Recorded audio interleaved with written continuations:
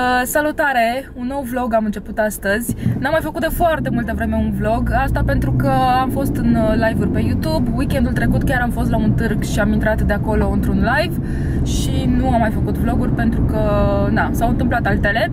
Dar astăzi am zis, gata, uh, deschid camera, vreau să fac vlog pentru că mi-am propus în acest weekend să fac uh, câteva mici chestii care zic eu că sunt interesante și vreau să vi le, să vi le arăt și vouă. Uh, vreau să merg pre prin câteva locuri.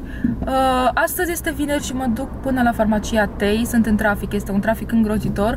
Nu știu ce a fost în capul meu să mă gândesc să plec la ora asta spre farmacia Tei, dar sinceră să fiu, Uh, mai devreme nu am putut, așa că asta e, e aproape ora 4, deci e trafic îngrozitor în București. Uh, și alte chestii astăzi, nu știu, mai merg un pic pe la cumpărături, uh, diverse mărunțișuri pentru casă, uh, nu mare lucru. Oricum, ce o să-mi cumpăr de la farmacia Tei o să vedeți cu siguranță într-un videoclip viitor, pentru că um, cred că o să fac un haul la un moment dat uh, și uh, da, o să vă arăt acolo ce-mi cumpăr. Trebuie să trec și pe la Douglas, da, pe la Douglas vreau să trec. Am primit mail de la ei, trebuie să-mi ridic în baza cardului niște șantioane și sinceră să fiu, chiar vreau să le ridic pentru că mi se par interesante. Uh, și cam asta ar fi planul pentru astăzi. Farmacia Tei, Douglas și mici cumpărături. Dacă se mai întâmplă ceva senzațional, o să deschid camera. Uh, nu știu, sunt așa într-o stare foarte, foarte bună, foarte pozitivă. Cred că datorită vremii de afară este foarte frumos, e soare au înflorit uh, pomii, am înverzit iarba, deci mă simt așa foarte, foarte pozitivă. Sunt și îmbrăcată destul de subțire, sincer să fiu un pic cam prea subțire pentru vremea de afară, trebuia să-mi iau uh, o hăinuță mai groasă, dar sunt cu mașina și nu fac eu probleme de-astea. Uh, da, cam, uh, cam asta ar fi așa un mic update pentru cei care nu m-au urmărit nici în live, nu m-au urmărit uh, nici pe Instagram, nici pe Snapchat. Uh, cam asta ar fi uh, update-ul de moment. Am ajuns la farmacia T, am găsit și parcare, o să-mi fac în liniște cumpărăturile. Uitați ce frumos este afară, că nu v-am arătat uh, cum este orașul. Uitați ce senin și ce frumoși sunt, uh, sunt norii. Uh, vrem să mergem uh, în satul Broșteni, din comuna Ion Roată, din județul Ialomița, pentru că vrem să vizităm niște, niște ruine. De fapt, asta e tot ce a mai rămas din uh, conacul de acolo. Uh, niște ruine, dar uh, eu vreau să le văd. Am aflat despre ele acum ceva vreme când am fost la cursurile de la Fundația Calea Victoriei despre conacele României și de atunci, uh, asta a fost undeva anul trecut și de atunci am zis că vreau să merg, vreau să văd, pentru că este la mine în județ și uh, vreau să văd.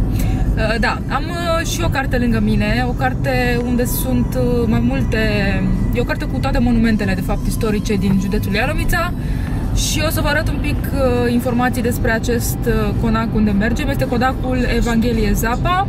O să vă povestesc și cine a fost Evanghelie Zapa în două, trei cuvinte. Și uh, cred că vrem să mai trecem prin câteva locuri, să vedem dacă avem timp. Și evident că o să vă arăt și vouă, uh, o să filmez acolo unde mă duc. Aceasta este cartea, colecția Patrimoniul Cultural Ialomițean, monumente istorice, uh, Inspectoratul pentru Cultura al județului Ialomița. Este o broșură a verișoarei mele, de fapt, și am cerut-o de ceva vreme și a rămas încă la mine. Și aici o să mergem ca vourile familiei Zapa, comuna Ionroată Broșteni. Uh, sunt niște, niște ruine, practic, acum. Vreau să văd ce a mai rămas de când s-au făcut aceste fotografii, să vedem în prezent dacă a mai rămas ceva. Uh, și uh, Evanghelie Zapa, aici sunt mai multe informații despre el. Uh, le puteți găsi și pe internet, o să vă las, cred, în bara cu descrieri un link. Meritul cel mai important al lui Evanghelie Zapa a fost însă acela de promotor al Jocurilor Olimpice Moderne, cu mult înaintea lui Pierre de Coubertin. De aceea, numele său merită să fie înscris în fruntea listei celor care au militat pentru reînvierea Jocurilor Olimpice. Vă citesc de aici din carte ce scrie. Bun, și el, uh, el s-a retras uh, în satul Broșten, din comuna Ion Roată din Ialomița uh, și a ajutat foarte mult la dezvoltarea comunei, la dezvoltarea satului de acolo. Și am mai vrea să trecem pe la conacul Chiroiu, care se află în sat Condeiești și conacul Marghiloman din satul Hagiești. Acestea sunt oarecum în drum, trebuie să ne lăsăm undeva dreapta, ceva de genul, așa cum ne ducem acum spre uh, Broșteni și să vedem uh, dacă ajungem și pe la acestea. Oricum, prima oprire o să fie direct la Broșteni și la întoarcere o să trecem și, și pe aici.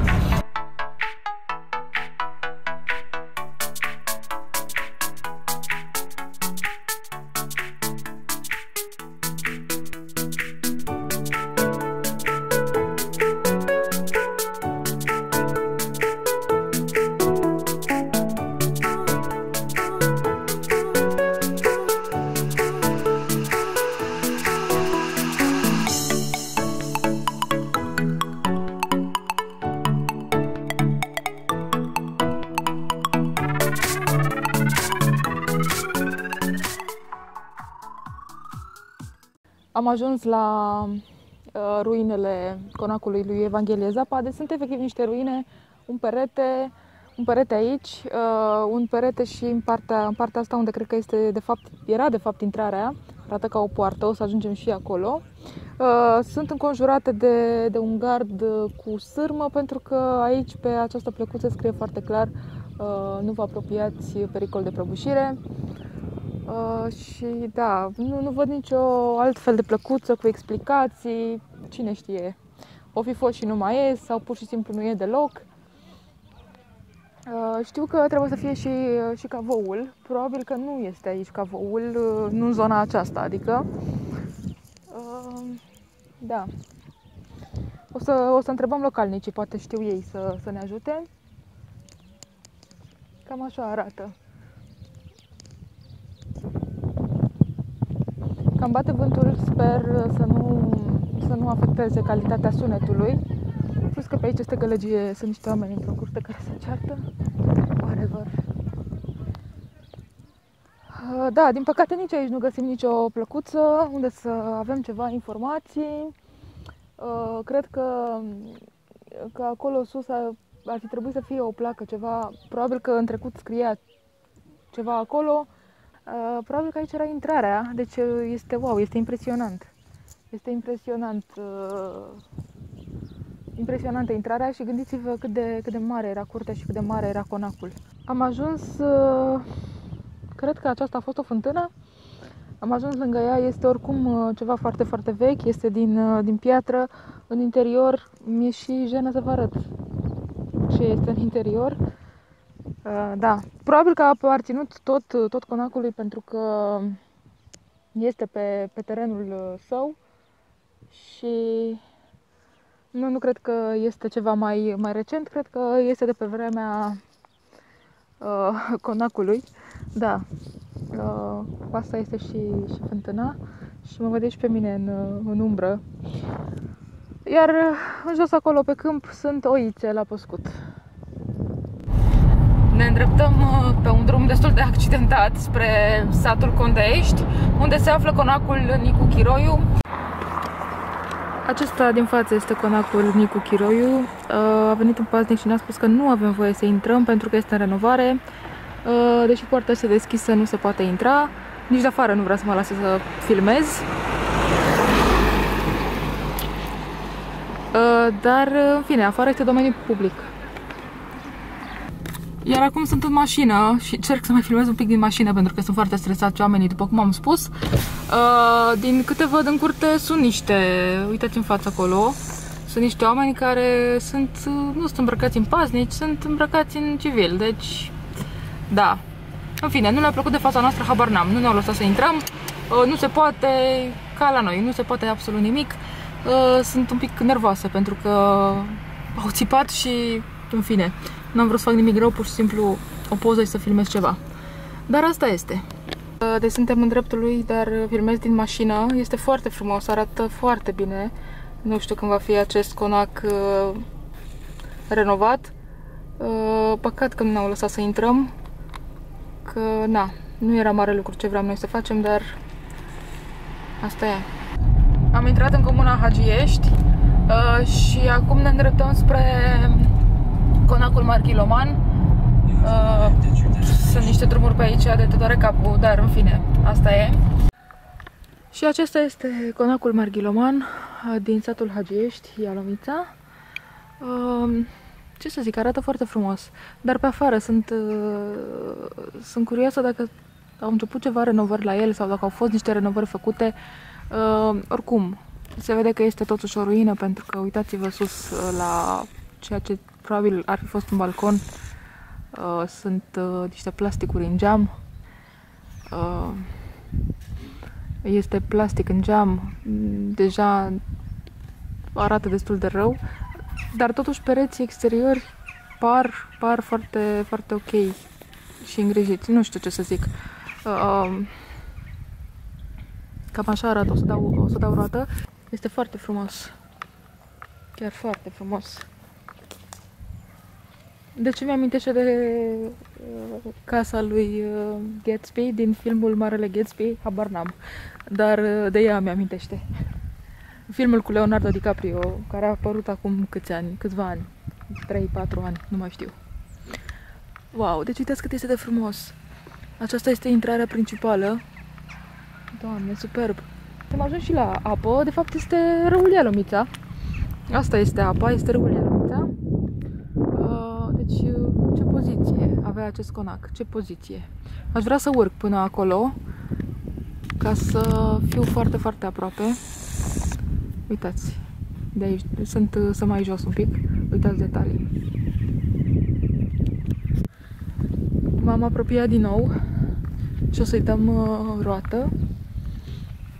Este foarte frumos acest conac. Îmi place foarte mult. Uitați, a căzut, uh, cred că de acolo de sus. Aici sunt niște piloni de, de piatră și presupun că acesta este căzut de acolo de sus pentru că văd că lipsește, lipsește în partea dreaptă. O să-i dau roată, dar evident o să stau un pic departe de el, că nu vreau să-mi cadă nimic în cap. Haideți că mi-am luat inima în dinți și m-am apropiat. Sper să nu-mi cadă nimic în cap. Da, foarte înalt, uh, foarte înaltă căderea. Wow, uitați aici. Deci se vede aici în interior perfect. Se vede în partea, în partea opusă. Aici jos este pivnița și s-a uitat soțul meu cu lanterna și a zis că este extrem, extrem de adânc.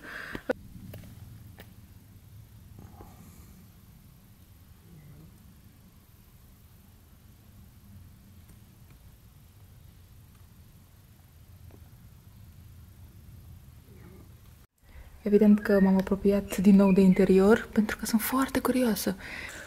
Pe geamul din față, în partea opusă, se vede și apa, dar uh, nu se vede la cameră.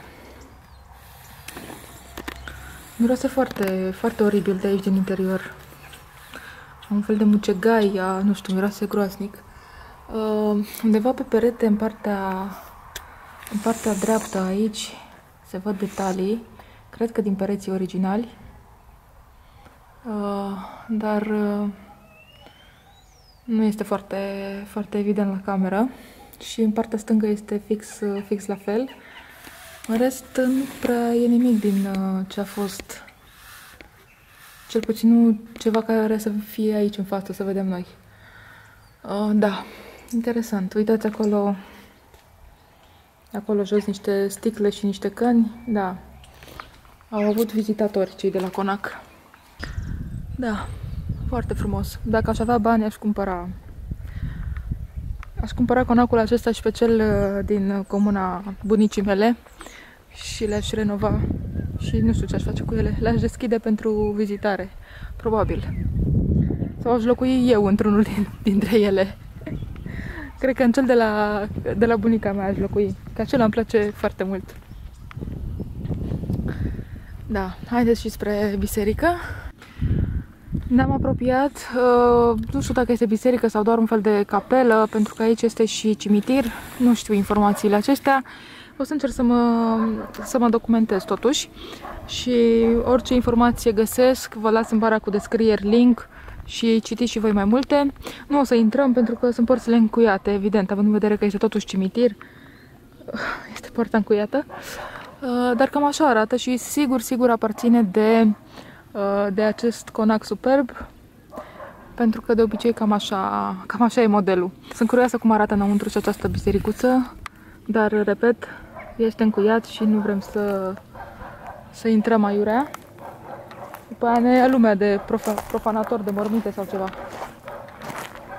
Și așa, a, deci pe aici am creat agitație prin satele astea, vă dați seama că fiecare se știe cine, din ce familie face parte, care mașina cu este.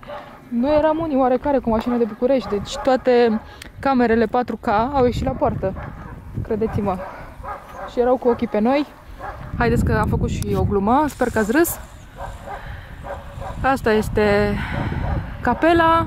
Mergem să vedem uh, Casa Melic. Este cea mai veche casă din București, așa, așa se spune. Uh, și acolo este de fapt un muzeu, muzeul Teodor Paladi. Și vrem să vedem uh, și noi această casă pentru că n-am fost niciodată până acum. De fo- foarte multe ori este deschisă de noaptea muzeelor, dar de noaptea muzeelor este atât de aglomerat încât nu a pus să vezi mare lucru. Așa că astăzi, pentru că tot eram liberi, am zis hai să vedem uh, Casa Melic. Uh, nu știu dacă în interior voi putea filma sau fotografia, uh, dar pe afară cred că or să mă lase, așa că da, o să filmez și eu ce pot. Și cam asta e planul pentru, pentru astăzi. Ne vedem la Casa Melic. Am ajuns la Casa Melic, cam așa arată curtea, așa arată și de afară. Acum o să intrăm. Iar aici, lângă, este o casă care pare foarte, foarte veche și este foarte frumoasă, dar nu știm ce casă este. O să întrebăm, poate știu cei de la muzeu. Haideți că intrăm, intrăm în muzeu acum.